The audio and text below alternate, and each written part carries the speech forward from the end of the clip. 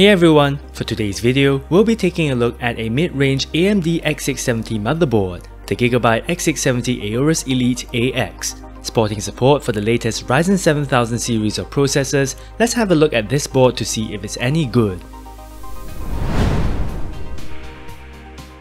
To recap, AMD initially launched its AM5 platform and the Ryzen 7000 series of processors alongside the range-topping X670E and X670 chipsets on 27 September 2022, and then followed up with the B650E and B650 chipsets shortly after.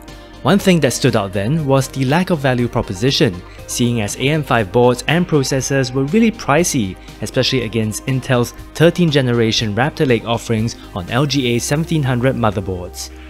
More than two months have elapsed since AM5's launch, and recently we've seen AMD drop its Ryzen 7000 prices during Black Friday, where these prices have since remained for now as of early December 2022.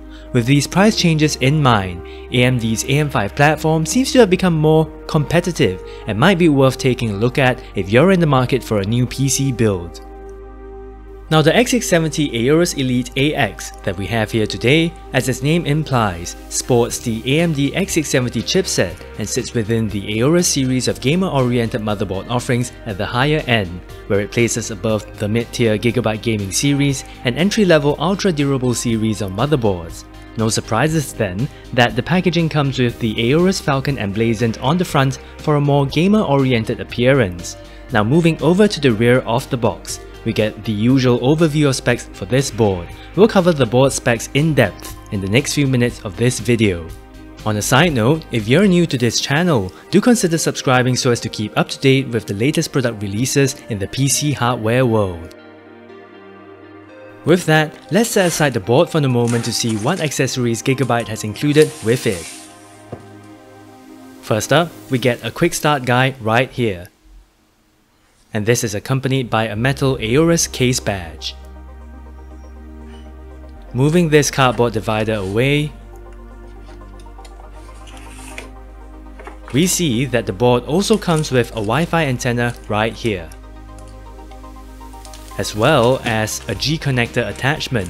Now the G-connector simplifies the process of hooking up the front panel connectors of your PC case to the motherboard, a handy quality of life feature to have for sure. We also do get a spare M.2 drive screw and standoff, and this is rounded off by two SATA 3 cables right here. Onto the board itself, we see that Gigabyte has gone for a black and silver color scheme with line motifs on the PCB and heatsinks. The board comes with an integrated IO shield design and the VRM heatsinks are pretty sizable. According to Gigabyte, these heatsinks utilize an 8mm thick heat pipe. In terms of VRM specs, Gigabyte's included 16 plus 2 plus 2 power phases with 70 amp power stages for the V-Core phases. The X670 chipset is cooled by a large passive heatsink right here, and for M.2 drive cooling, Gigabyte has included M.2 drive heatsinks for all 4 M.2 drive slots, where 3 of these slots share a common heatsink. Do note that this board does not come with any built-in RGB LEDs of any sort, though it does come with RGB headers for you folks out there intending to install RGB peripherals. I'll talk about the location of these headers later in this video. Do note that this board comes in two revisions, revision 1.0 and 1.1. The board that I have here today is of the revision 1.0 variety, and as far as I can tell, both revisions share the same specs, with the key difference being the aesthetics of the heatsinks found on both revisions of the X670 Aorus Elite AX. For memory support, the X670 Aorus Elite AX comes with 4 DDR5 slots with support for up to 128GB of RAM and the DDR5 6666 standard when overclocked, with plastic slots of a dual tab design. It also features AMD's Expo technology, which are basically built-in overclocking profiles for DDR5 memory, similar to what XMP stands for in Intel's ecosystem.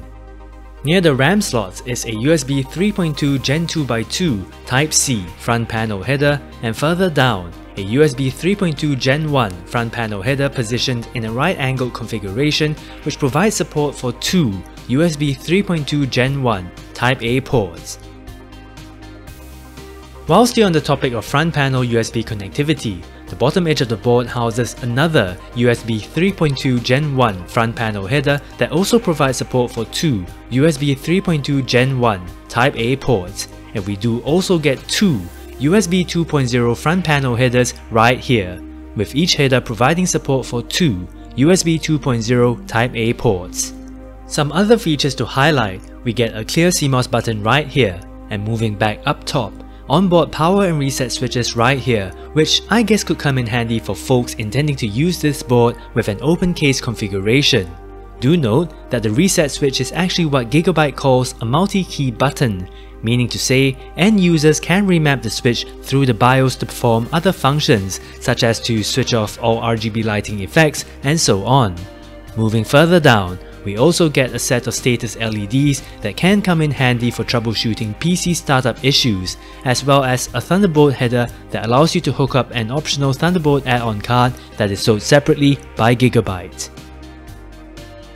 In terms of expansion slots, this board comes with a reinforced PCIe 4.0 x16 slot that sports the PCIe Easy Latch feature, which is essentially an oversized graphics card retention tab that helps with graphics card removal.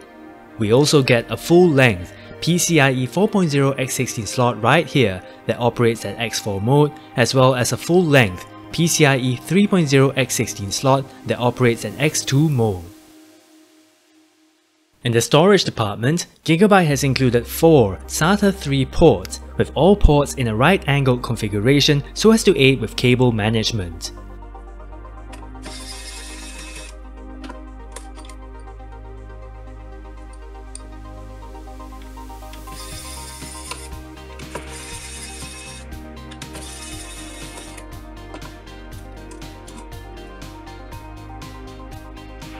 For M.2 slots, it comes with a PCIe 5.0 X4 M.2 slot and 3 PCIe 4.0 X4 M.2 slots. Do note that all 4 of these slots support NVMe M.2 SSDs only. M.2 SATA SSDs are not supported.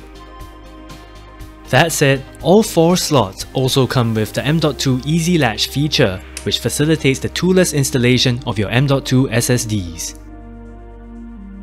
For audio, Gigabyte has included an entry-level Realtek ALC897 audio codec, which is commonly found on low-end motherboards, while wired internet connectivity is courtesy of a Realtek part as well, the RTL8125BG chip, which provides support for 2.5 gigabit Ethernet. Wireless connectivity on the other hand is courtesy of AMD's RZ616 Wi-Fi module that serves up support for Wi-Fi 6E and Bluetooth 5.2 connectivity. In the cooling and RGB departments, the board comes with 5 fan headers, which are located in these regions of the board. Also included are 2 addressable RGB headers and 3 12V RGB headers located right here. Moving over to the rear I.O., the X670 Aorus Elite AX goes for an integrated I.O. shield design and it comes with a QFlash Plus button that allows users to update the board's BIOS without needing to install a CPU, RAM or graphics card, Wi-Fi antenna connectors, a HDMI 2.1 port that provides support for display output of up to 4K resolution at 60Hz, 4. USB 2.0 Type A ports, 6. USB 3.2 Gen 1 Type A ports, 2. USB 3.2 Gen 2 Type A port, with this port here supporting the QFlash Plus feature, a USB 3.2 Gen 2 x 2 Type C port, a 2.5 gigabit Ethernet port, as well as your usual audio jack connectors.